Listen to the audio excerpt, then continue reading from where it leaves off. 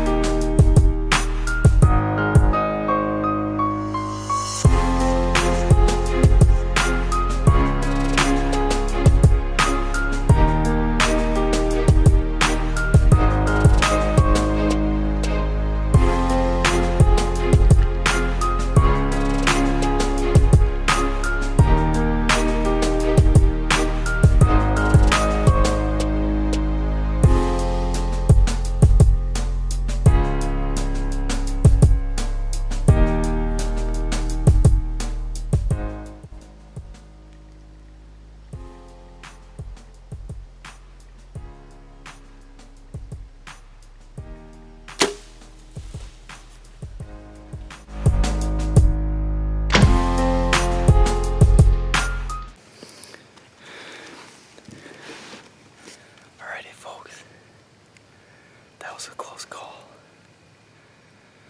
Whew. That doe was at 41 yards. I took the shot, she was feeding, everything was fine, it was calm. But she just jumped the string.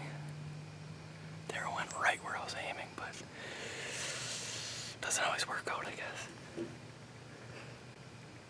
Yeah, the arrow went right where I was aiming, just right at the last second. She got out of the way.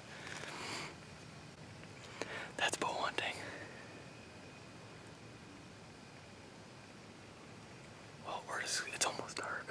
I'm gonna wait for it to get dark, go down and find my arrow. Who knows, maybe it'll be covered in blood. Just kidding, I know. I looked at the footage, she got out of the way.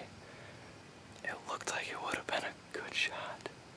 It's hard to say on the small screen that my camera has, but it looked like it would have been a really good shot. Like, really good. But whatever, it was exciting.